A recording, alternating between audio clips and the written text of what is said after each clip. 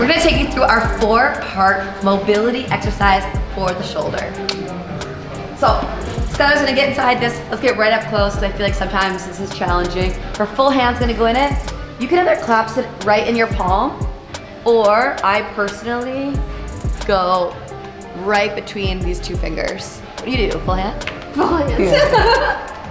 Okay, hands grabbed. So first thing, what Skylar's gonna do, pushing her weight back into her hips. Just gonna warm it up a little bit. Just gonna get some rotations in.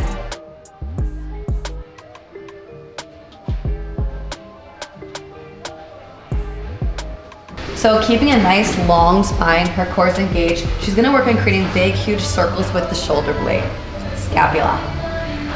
So she's gonna create huge circles with her scapula, six in each direction.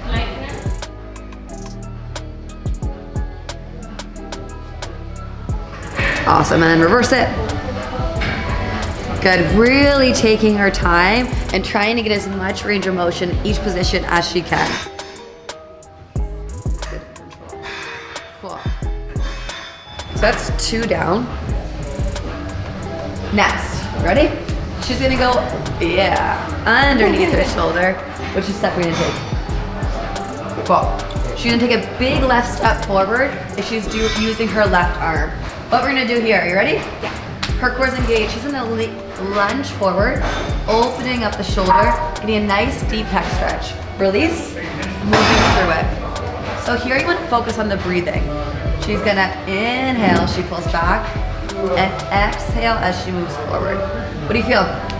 All through the back. Yeah. And again, six to eight reps.